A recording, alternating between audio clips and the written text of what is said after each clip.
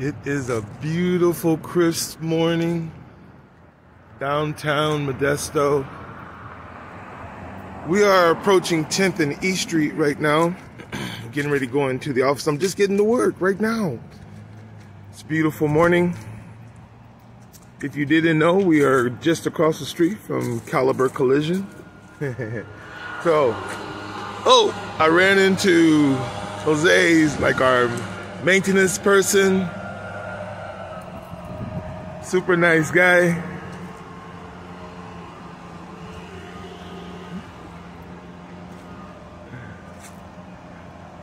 All right, so we've heard it a thousand times, many, many, many times everywhere that the beginning of any journey starts with the first step.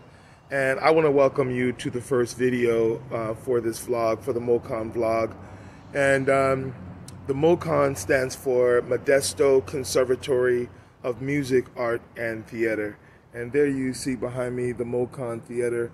We're here, we're going to go inside in just a moment, and I'm going to give you a walkthrough um, of the place and just share with you just some things about um, the beginning and how the MoCon started. And over the course of this journey, we're just going to talk about how the MoCon started and how some of the other artists are involved. And yeah, just share with you also other things that's going on with um, with the whole concept. Thank you so much for being with us. My name is Kaila D'Sa. Let's go.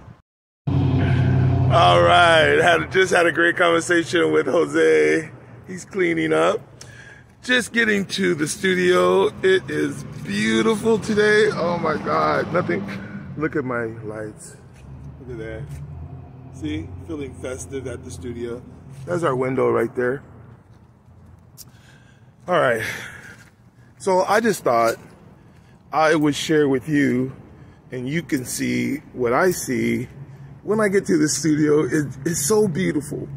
I love it. I love how it has like its own like calmness to it, its own vibe. It, it's different every day. So I thought, you know what? I'm gonna take them to, I'm gonna take them with me.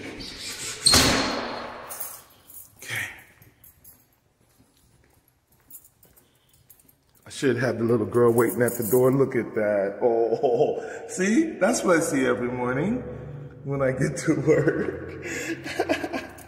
that's so cute. She can hear me coming. And she runs away. Hi, Eddie. All right, let's turn on some lights. All right. Yeah. This is the studio. Early morning.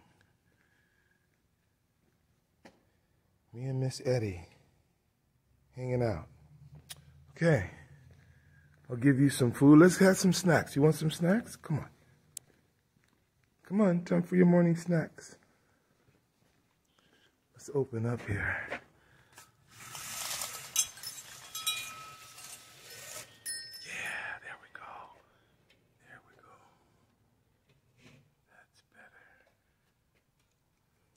That's better. This is my morning window. I have my tea here, have my coffee here.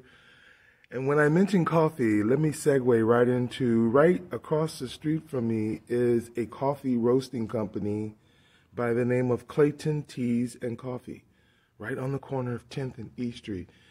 And I can just walk across the street and get like literally crushed beans, like right as they are grinding them, cross the street, put it into my pot.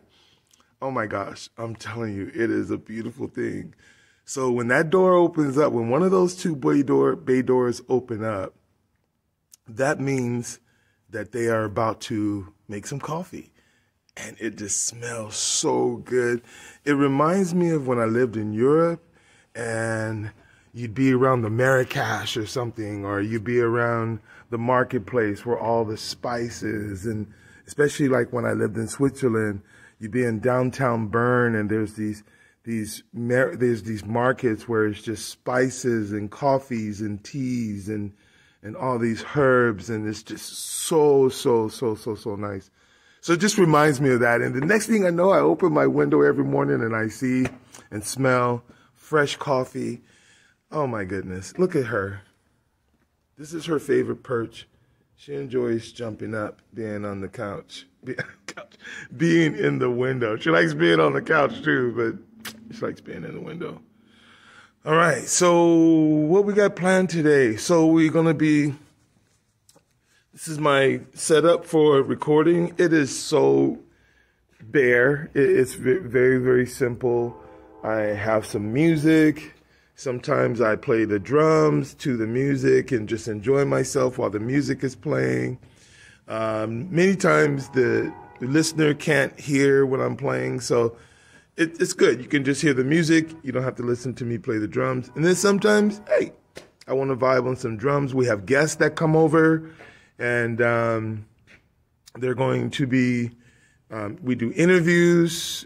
Sometimes somebody wants to play the guitar. We'll do a live live set, and um, we use a 1080 H, um, HD um, web camera. Just plug it right into my laptop. So you know, often I want to explain this. This is a good. This is a good opportunity for me to explain something. Oftentimes, you'll see me looking down and not like directly into the camera, and that's because I'm reading text. I'm reading um, uh, comments and that people are sending me about listening to the show. Um, and it creates an opportunity for me to answer people like in real time about whatever we're chatting about. So while we're listening to music, we can talk. We talk about different um, current events, things going on in the community of music, art, and theater. Um, no politics, no religions. Um, and the reason why that is, is because there's enough of that on everywhere else. So for my show, we generally talk about music, art, and theater and how it relates socially, how it relates to us internally, and how us as artists, or even if you are uh, uh, listeners and enjoyers of, of certain artists, getting into their psyche and understanding why and how they make the music and the art and and and play the characters um, that they do. So over here, I love playing the drums. It is so therapeutic. It it it just takes me to another place. I am not by any stretch of any imagination a professional air quotes um, drummer.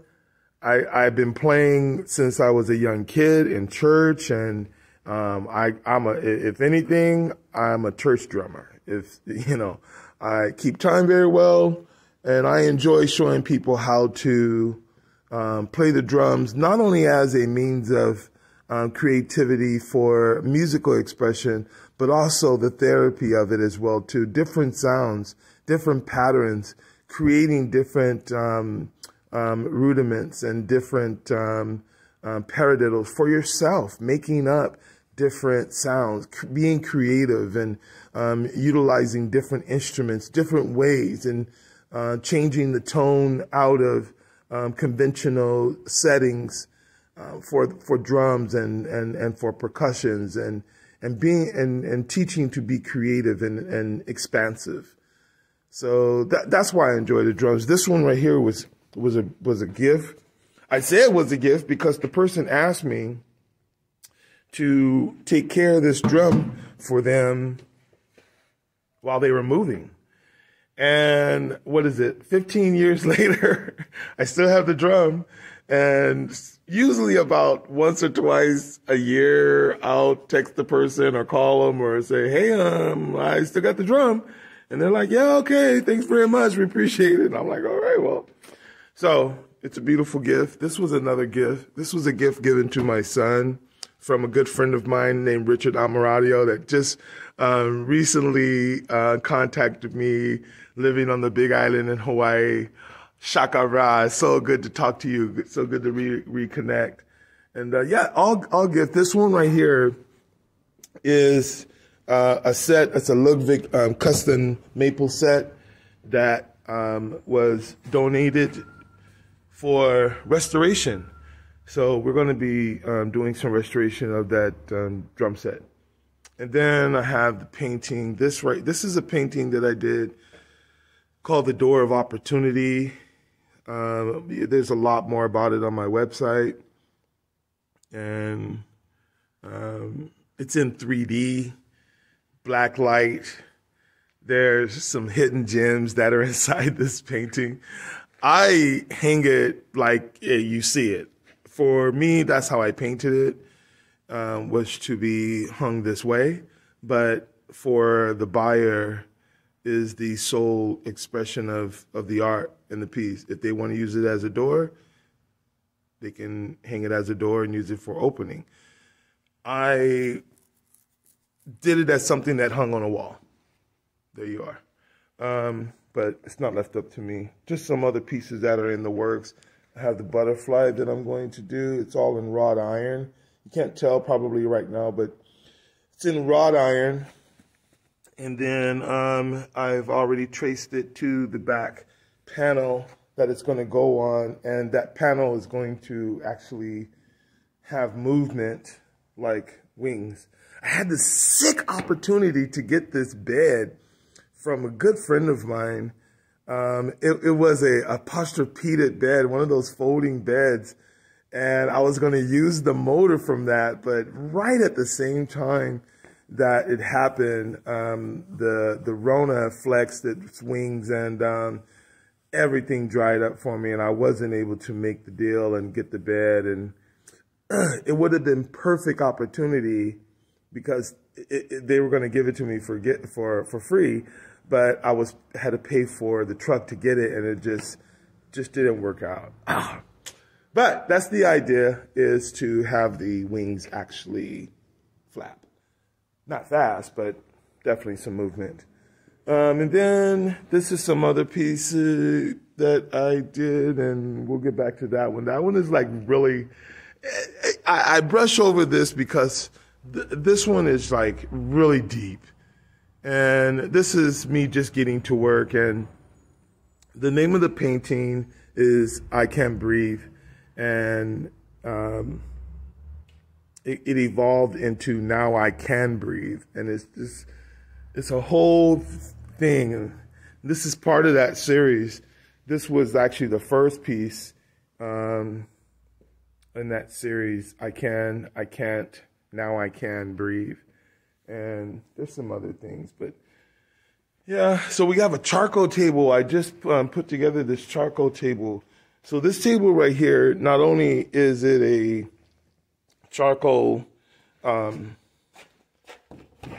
uh, kitchen countertop, but it also serves as the place where we do like most of the charcoal work. This is some asymmetrical and non-symmetrical work, and then this is like uh, a trace that I'm doing from a piece that that my brother did um, for Fillmore Jazz Festival.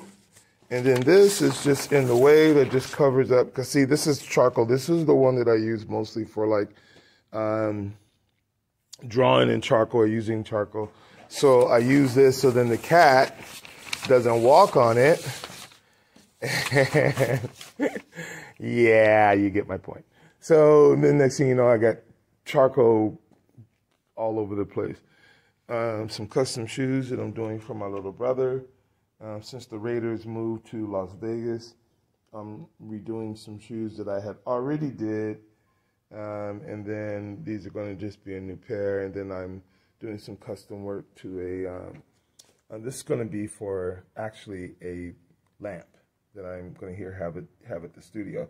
It's a cymbal that just got mangled just from just use and it's all broken up, all holy maca flip as they say. And then I'm going to use the base like this as, and then um, the light will be in here and then, so this will be all pounded. See how it's all pounded out.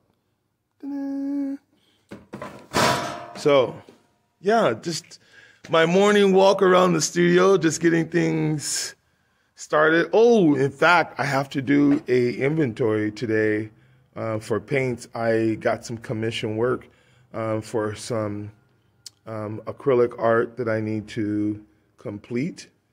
So sometimes my base for my color background, I use um, spray paint. So then that way I don't have to use a lot of acrylic paint brushing. I do all my fading with it. I do all my um, graphic design with it. Like like I did that piece right there. Um, I kind of wanted it more to be like a mixture of tap, tape, tapography.